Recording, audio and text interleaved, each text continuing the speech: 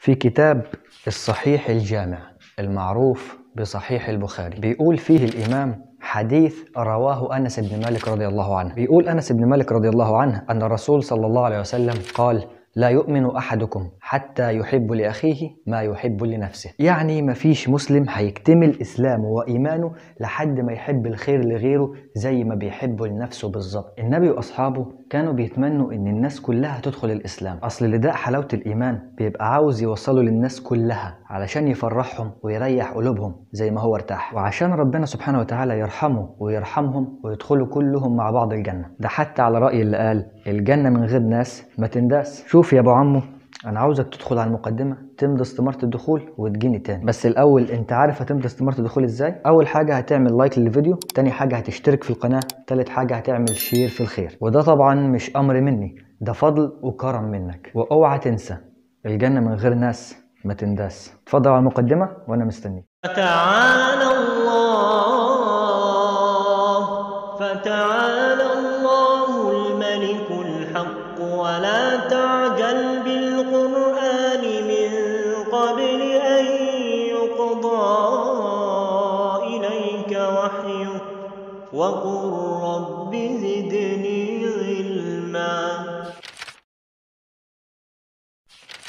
السلام عليكم ورحمة الله وبركاته. أهلا بك يا عمو في شرح آية جديدة من سلسلة شرح القرآن. وأنا صغير كنت أرنوب كده في نفسي بس شقي حبتين. بس كنت رغاي وبسأل كتير. كنت بسمع في القرآن آيات كتير وقصص كتير عن اليهود وعن بني إسرائيل وعن سيدنا موسى وكنت بسأل نفسي هم الناس دول حلوين ولا وحشين؟ يعني الناس دي مؤمنين ولا كفار؟ ولما هم كفار القرآن بيتكلم عنهم كتير ليه كده؟ ليه في كل سورة لازم تلاقي قصة أو قصص لبني إسرائيل؟ ليه لازم تلاقي قصة أو قصص برضه لسيدنا موسى؟ اشمعنى بني إسرائيل واشمعنى اليهود اللي متكرر ذكرهم في القرآن الكريم أكتر من مرة؟ ولما كبرت شوية اكتشفت إن بني إسرائيل هم أكتر مجموعة بشرية ذكرت في القرآن الكريم. وإن أغلب القصص الموجودة في القرآن عن بني إسرائيل. الله! إزاي يا عم ده؟ أنا استغربت أكتر. وبدأت أدور في الموضوع ده. وبعد وقت من القراية والبحث اكتشفت إن بني إسرائيل وصلوا لمرحلة من الكفر هي الأعلى على الإطلاق. دول كانوا واخدين الجايزة الأولى في الكفر والطغيان بلا منازع وهو ده السبب.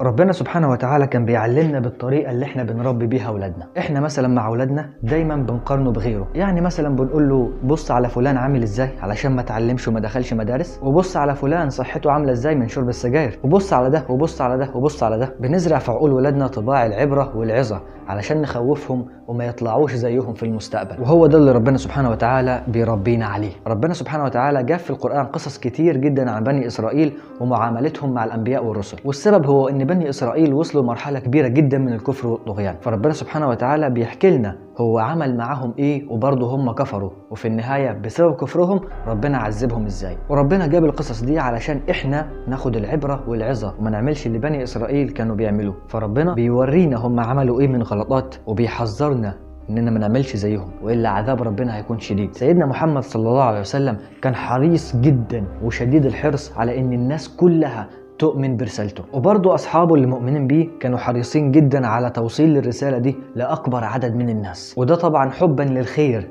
عاوزين الناس كلها تكون مؤمنة بالله سبحانه وتعالى ويدخلوا معاهم الجنة. عاوزين الخير للناس كلها مش أكتر ولا أقل. كانوا عاوزين الإيمان بالله سبحانه وتعالى والعدل والسلام والحرية والمساواة ينتشروا في العالم كله. فالنبي وأصحابه كانوا طمعانين وعشمانين في أن اليهود يؤمنوا برسالة الرسول صلى الله عليه وسلم. ويرجعوا ربنا سبحانه وتعالى ويتوبوا إليه بعد الذنوب اللي عملوها من تحريف التوراة وغيره. ولو اليهود آمنوا بالنبي محمد صلى الله عليه وسلم كان ربنا سبحانه وتعالى إن شاء تاب عليهم ومحى ذنوبهم كلها. فالنبي وأصحابه كانوا عشمانين ومستنيين اللحظة اللي اليهود يعلنوا فيها إيمانهم بالنبي محمد صلى الله عليه وسلم. بس ربك علام الغيوب. نزل آية في القرآن الكريم كانت هي الجازمة في إيمان اليهود. أفتطمعون أن يؤمنوا لكم؟ وده سؤال استنكاري. أفتطمعون أن يؤمنوا لكم؟ ومعنى استنكاري زي إنك مثلا حد يقول لك وهو أنت مستني فلان يروح معاك؟ ابقى قابلني. أو زي إن حد مثلا يقول لك أنت هتنجح في الكلية إزاي؟ أفتطمعون أن يؤمنوا لكم؟ ربنا سبحانه وتعالى هنا بيخاطب النبي وأصحابه بيقول لهم هو أنتوا طمعانين وعشمانين إن اليهود يأمنوا بيكم وبرسالتكم؟ طب إزاي؟ وقد كان فريق منهم يسمعون كلام الله ثم يحرفونه من بعد ما عقلوه وهم يعلمون. ده كان فيهم شوية ناس وهم العلماء أو رجال الدين اليهودي واسمهم الحاخامات أو الأحبار. بيسمعوا وبيوصل لهم كلام ربنا سبحانه وتعالى وبعد ما يدرسوه ويتعلموه ويفهموه برضه بيحرفوه. والمقصود في قوله تعالى يسمعون كلام الله كلام الله هنا المقصود بها التوراة. بعد ما ربنا سبحانه وتعالى نزل التوراة على سيدنا موسى في شوية ناس كده بقوا متخصصين في التوراة أو في الدين اليهودي ودول بيبقى اسمهم الحاخامات أو الأحبار ودول متخصصين في دراسة الدين اليهودي أو متخصصين في دراسة التوراة. زي المسلمين كده بيبقى عندهم القرآن الكريم والسنة النبوية. في ناس بتبقى متخصصة في دراسة القرآن والسنة وبيبقى اسمهم الشيوخ.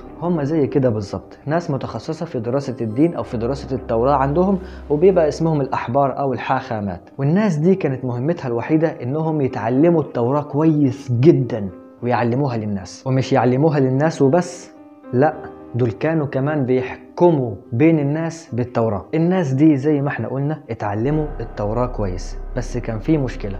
المشكلة هو إنهم كانوا حاصرينها في نفسهم. يعني إيه؟ يعني كانت التوراة أو علم التوراة أو العلوم الشرعية في الدين بتاعهم كانت مختصة بيهم هم وبس. مفيش حد غيرهم يعرف الدين ده فيه إيه. يعني الراجل اليهودي ما كانش يعرف أكتر من إنه إزاي يصلي وإزاي كذا وإزاي كذا وإزاي كذا. لكن إنه يبقى متعمق في الدين وفي تفاسيره أو متعمق في التوراة والمعاني المراد منها ده ممنوع. ده ما ينفعش غير للناس المتخصصة وبس. ما ينفعش غير للأحبار. زي ما نقول إحنا مثلا كهنوت. كان عندهم كهنوت. الأحبار والحاخامات بقوا مسيطرين على التوراة وبقوا هم المتحكم الوحيد فيها. وبسبب كده جات لهم الفرصة إن هم يغيروها ويحرفوا فيها. وجابوا الحلال خلوه حرام وجابوا الحرام خلوه حلال وجابوا الحق خلوه باطل والباطل خلوه حق وبقوا بيلعبوا فيها على مزاجهم وهواهم وزي ما هم عايزين. وكانوا تحت أمر الحكام. زي ما بنقول إحنا كده كانوا شيوخ السلطان. كانوا بيبرروا أي حاجة وكل حاجة يعملها الحاكم. ومش بس كده لأ كانوا برضو بيستخدموا التوراة للي يدفع أكتر. يعني واحد مثلا ابنه زنى أو قتل أو سرق واتقبض عليه وعاوز إن هو يطلعه. ومفيش أمل قدامه غير إنه يستخدم رجال الدين. علشان يشهدوه بإن اللي هو عمله ده التوراة بتحلله وعادي وموجود في التوراة وربنا سبحانه وتعالى مش بيعاقب عليه. فإحنا مين علشان إحنا نعاقب على حاجة زي دي؟ فالراجل ياخد قرشين حلوين كده ويطلع على الحبر أو الحاخام ويديله الفلوس ويقول له إحنا عاوزينك تعمل كذا كذا كذا كذا كذا. ابني عمل كذا وعاوزينك تطلعه. وتشهد إن المو... اللي هو عمله ده موجود في التوراة. الحاخام ياخد الفلوس ولو ما لقاش حاجة في التوراة تطلع الواد ده بريء كان بيكتبها هو ويلعب فيها ويقول للناس هي دي التوراة من عند الله وربنا بيقول إن ده بريء. فاحنا مين علشان نحاكمه؟ كانوا بيستخدموا التوراة وبيلعبوا فيها وبيحرفوها وبيغيروها وصلت إنهم يغيروها ويغيروا في كلامها للي يدفع أكتر. اللي كان معاه فلوس هو اللي بيسيطر على رجال الدين اليهودي. ورجال الدين اليهودي كانوا مسيطرين على التوراة. يحرفوها ويلعبوا فيها ويغيروا في معانيها ويغيروا أصلا آياتها. عشان كده ربنا سبحانه وتعالى بيقول في سورة البقرة فويل للذين يكتبون الكتاب بأيديهم ثم يقولون هذا من عند الله ليشتروا به ثمنا قليلا. فويل لهم مما كتبت أيديهم وويل لهم مما يكسبون. كانوا بيتاجروا بالتوراة وبيتاجروا بكلام الله سبحانه وتعالى. اللي يدفع أكتر نغير له فيها ونغير له في آياتها ونغير معانيها ونحرفها عادي يعني. وللأسف ده حال ناس كتير من المسلمين. بيبرروا للحكام ظلمهم وأفعالهم القذرة. وده طبعا بيكون باستخدام القرآن الكريم. يخدر الشعب بكلمة وأطيعوا الله وأطيعوا الرسول وأولي الأمر منكم علشان يحشدكم تحت حكم ظالم. بس مش بيكلموكم على كره ربنا سبحانه وتعالى للظلم وازاي النبي صلى الله عليه وسلم حرص من الظلم وإنكار الدين الإسلامي للظلم والظالمين. مش بيكلموكم على عذاب الظالم يوم القيامة. مش بيكلموكم على إزاي ربنا سبحانه وتعالى يذل الظالمين في الدنيا والآخرة. وإحنا كمسلمين مش بنبرر للحكام وبس باستخدام القرآن. لا إحنا كمان بنبرر أفعالنا القذرة باستخدام القرآن. زي مثلا شاعر بيقول دع المساجد للعباد تسكنها وطف بنا حول خمار ليسقينا. لم يقل ربك ويل للذين سكروا وإنما قال ويل للمصلين. استخدم آية في القرآن واجتذأها من موضعها. وحرفها وحرف معناها علشان يبرر لنفسه شرب الخمر. فأنا عاوزك تاخد بالك من ده كويس. الحرام حرام والحلال حلال. الحلال بين والحرام بين. لو عملت غلط اعترف بيه واستغفر ربنا سبحانه وتعالى وربنا هيغفر لك. انت مش ملاك عشان تظهر قدام الناس كويس وما فيكش غلطة. كلنا بنغلط بس ربنا بيسترنا. ربنا يسترك لما تعترف بذنبك قدام ربنا سبحانه وتعالى اولا وأخيرا وتتوب منه وما تعملوش تاني ابدا. لكن إنك تعمل الغلط وتبرره لنفسك وباستخدام القرآن أو باستخدام الدين دي في حد ذاتها من أكبر المصائب. وعلشان ما أطولش عليك خلاصة الآية دي هي إن ربنا سبحانه وتعالى بيقول للنبي وأصحابه ما تتعشموش وما تستنوش وما تطمعوش إن الناس دي تؤمن بيكم. الناس دول غيروا كتاب ربنا غيروا التوراة اللي فرحانين بيها قدام الناس. اليهود فرحانين بالتوراة قدام الناس وشايفين نفسهم بالكتاب ده إن مفيش حد أحسن منهم في الدنيا دي كلها. إن هم أحسن ناس وأطهر ناس موجودين على الأرض دي. فالتوراة اللي هم بيتفشخروا بيها وفرحانين بيها قدام الناس وبيتباهوا بيها على خلق الله هم أصلا غيروها ولعبوا فيها وحرفوها. إذا كان هم عملوا كده مع الكتاب بتاعهم اللي هم فرحانين بيه وعملوا كده مع ربنا سبحانه وتعالى فإزاي أنتم مستنيينهم يؤمنوا بيكم ويصدقوكم؟ ربنا بيقول للنبي وأصحابه يا محمد ما عليك أنت وأصحابك إلا البلاغ. إحنا كلفناك يا محمد بالبلاغ وبس. مفيش حاجة تعملها أكتر من إنك تبلغ الرسالة. والباقي ده على ربنا سبحانه وتعالى. يهدي من يشاء ويضل من يشاء. فلا تذهب نفسك عليهم حسرات. إن شاء الله أشوفك في الحلقة الجاية. بس ما تنساش تشترك في القناة علشان إحنا لسه مستمرين لحد آخر المصحف بعون الله. وعاوزك تحب الخير لغيرك زي ما النبي وأصحابه كانوا بيحبوا الخير لغيرهم ما تنساش الحديث ده أبدا. وركز فيه كويس جدا. لا يؤمن أحدكم حتى يحب لأخيه ما يحب لنفسه. زي ما بتحب لنفسك إنك تكون قريب من ربنا حب كمان لغيرك إن هو يكون قريب من ربنا معاك. علشان لما تيجي يوم القيامة وتلاقيه قدامك تفرح. وما تنساش الجنة من غير ناس. ما تنداس. والله ما تنداس. سيدنا آدم كان ماشي في الجنة لوحده حس بالوحدة واستوحش في الجنة. الجنة يعمل فيها اللي هو عاوزه بس علشان كان لوحده من بني جنسه كان حاسس إن هو وحيد ومش طايق إن هو يقعد فيها. فربنا سبحانه وتعالى خلق له السيدة حواء. فالجنة فعلا من غير ناس والله ما تنداس. اعمل share في الخير واعمل like للفيديو واشترك في القناة. هستناك إن شاء الله كل تلات وجمعة الساعة واحدة الظهر.